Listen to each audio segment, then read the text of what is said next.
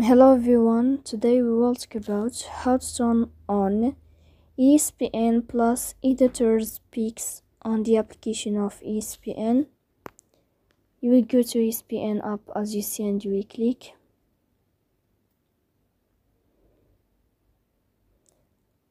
Here in this page you will write a moment. Then you will go to above to this sign of settings